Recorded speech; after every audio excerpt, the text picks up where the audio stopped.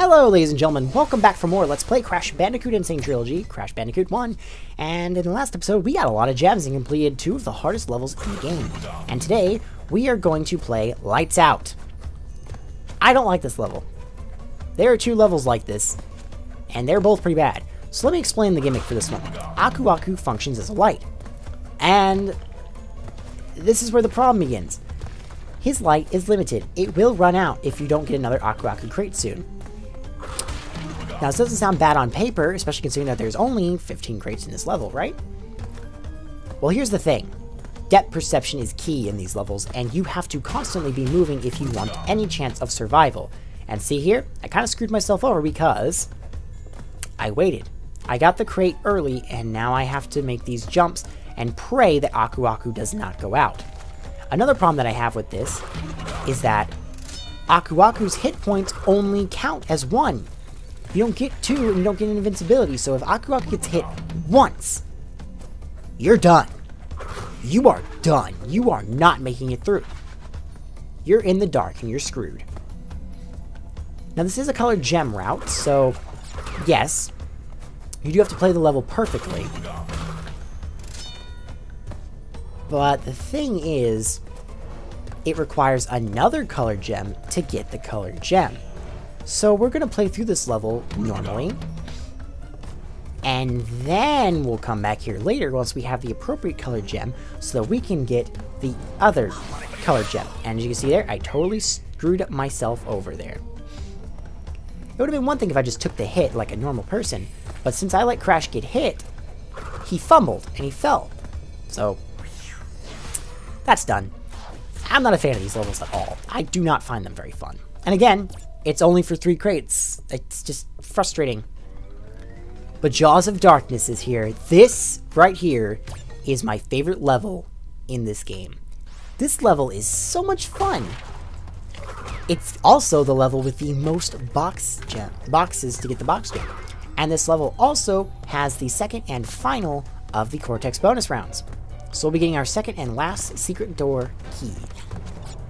I love this level though. It's big, it's got a lot of secrets in it, it's fun to play, and it's just aesthetically very pleasing. But I'm actually going to miss one of the boxes that I forget about in this level. But don't worry, I'm going to obviously play through the level second time. Show off exactly where I missed the box and we'll get the gem. No worries there. But yeah, I wound up finishing the level my first time with 111 boxes out of 112, so I had to play the level again, which if it was any other level, I'd probably be a little upset about that, but I do love this level, so I didn't really mind playing through it a second time. This is my favorite level in the game. I, I, love this level. If there's any level I'd like to come back to and play in Crash Bandicoot 1, it's Jaws of Darkness. I don't really know what it is about this level that captivated me more than the other ones. It's just really fun to play, and I thought this level was actually very well thought out. There's a lot of great platforming in it, and you're kind of going all over the place. You face the camera in all sorts of different directions. Yeah, you want to carefully spin that crate so you can get the Dr. Cortex token. There is a part coming up where you're going to want to be careful because there is a enemy that if you spin it, it will collide with the TNT crate and it will blow up the Cortex token. So then you'll have to kill yourself and it's just, it's just not fun. But here's the blue gem route. Look at that. We can actually progress through a colored gem route on the first visit. A level I can complete 100% that has a gem route on my first run? Interesting. I'm sorry, let me dig into my, my Crash Chew N. Brio. Interesting! I love N. Brio. He's such a great character. Yeah, there's a lot of there's a lot of blue gem platforms. I don't get it though. There's only one blue gem, so I want. I'm kind of confused as to how there's so many blue gem platforms. It makes sense if it's like just one, but there's like 20 here. What happened, game? There's a life up there. You might want to be quick and careful if you don't want to die. but yeah, I'm just, I don't know. This level's just really something to me, you know? It's very, very pleasing on my eyes, and I'm just a very big fan of it aesthetically. You just You go left, you go right, you go towards the camera, you go away from the camera. It's just all over the place. It's huge and I love it. I don't know how Crash's nose didn't get smashed. Pancakes! And I'm totally gonna flub up one of these jumps, aren't I? I feel like I did. I can't remember. No, I didn't. Might be a later part. But, okay. This is the part I was talking about. There is a snake coming up in that hole. Don't spin it. Jump on it.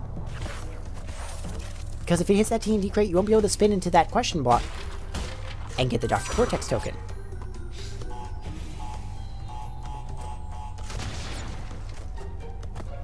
There's also another little secret trail over here.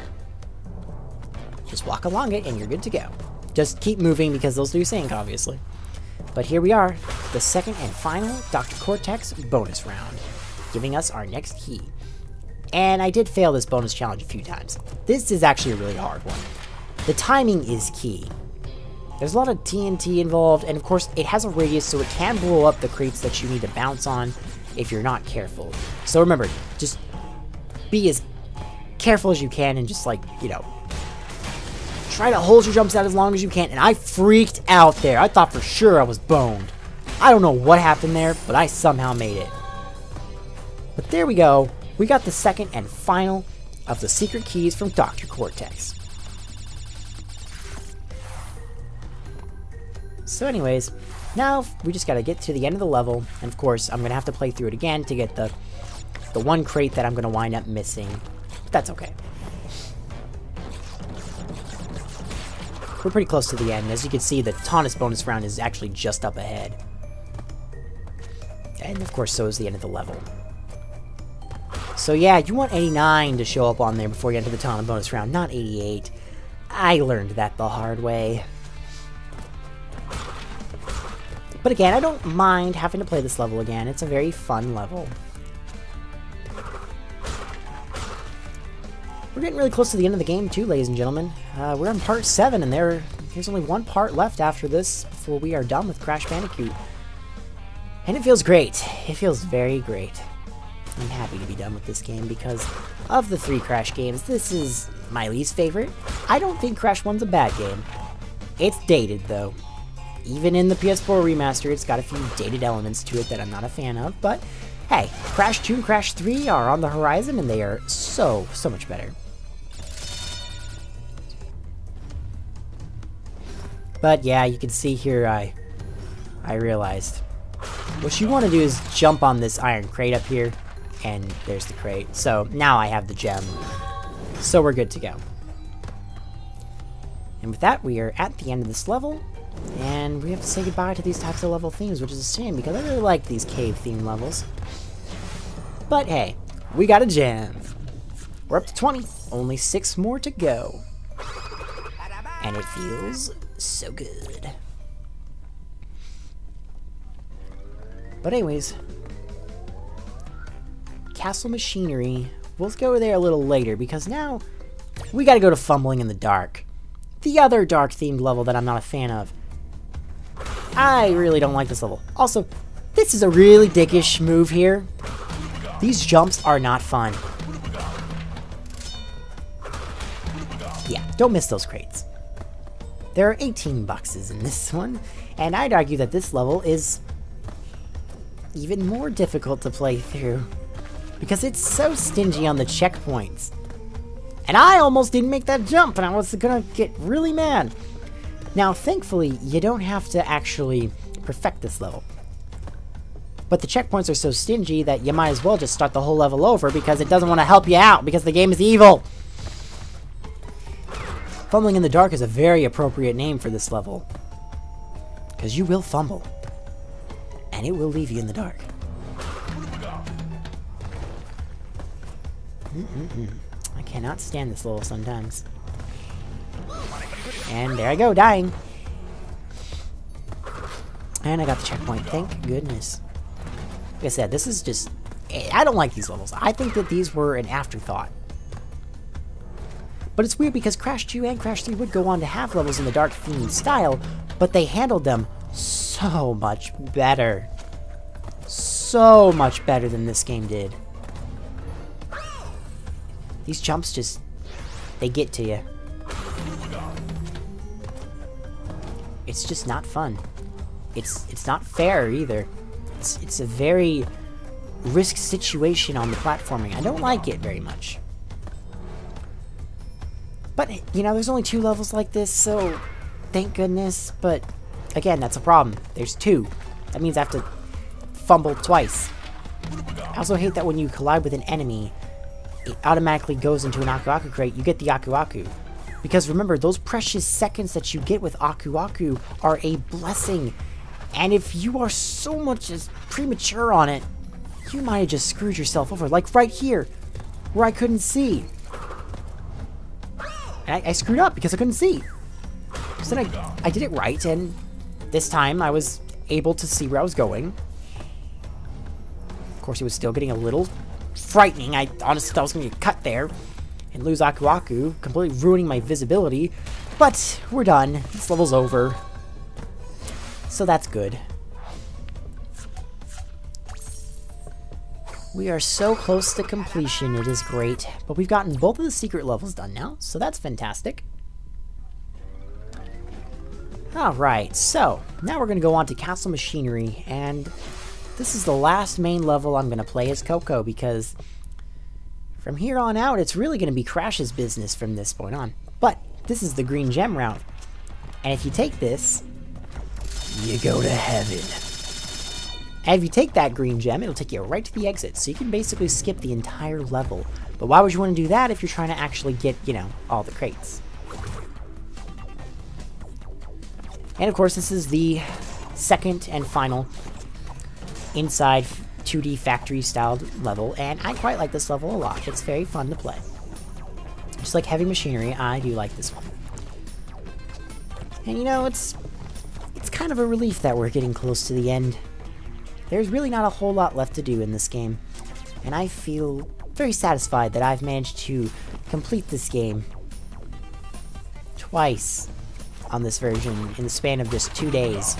I mean, I literally did my practice run on one day, right? And then I, the very next day, I binged it again for the actual recording. Uh, the PlayStation 1 game version, I played that a while back, so, you know, I was just kind of getting into preparation to familiarize myself with Crash 1 again, and I really wanted to try it 100% it again. It was just, it was just a nightmare. It was an absolute disaster. I didn't want to do it ever again. But we don't have to worry about that because we are free, guys. We are free. We're we're almost done, and I I couldn't feel better about this. So thankful to be almost done. Crash 1 is a good game. It's dated. And it's definitely not in my top 5 Crash games. I don't even know if I would put it in the top 10 Crash games, if I'm being perfectly honest here. I'd rather play the other two in the trilogy. But Crash 1 is a pretty dang good game. For what it's worth, I do enjoy the game. I just don't think it's the best. People say that the original trilogy is the best Crash has ever been. I'd say 2 is definitely one of those games that I can agree with that on. 3 is so-so mixed for me. Mostly a good one. Mostly a good one. I've got my gripes with that. We'll get to that at one point. But for me, Crash 1 is just the weakest of the three, and it just... It kind of bogs down the trilogy. But you know, every game has their first. And like Spyro, with its lack of a hover, or a, a better charge, and every first game always struggles, you know? Like, you have to give them some credit. It's the first game. They're trying to figure out what works, and then they always listen to feedback, and they always try to better themselves in the sequel. And I'd say that in the case of Crash 2, they definitely better themselves. Crash 2 is miles better than Crash 1. And I am very excited for that one. Because yes, ladies and gentlemen, I will be covering all three games in the N. Sane Trilogy.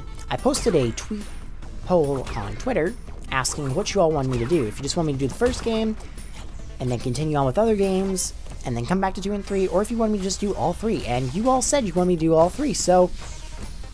Um, probably not going to jump right into 2 right off the bat, if I'm being perfectly frank here. Uh, I would like to finish Spyro. I would like to get Spyro together. Uh, because I took a week off from Spyro in order to get this Crash Let's Play together for y'all.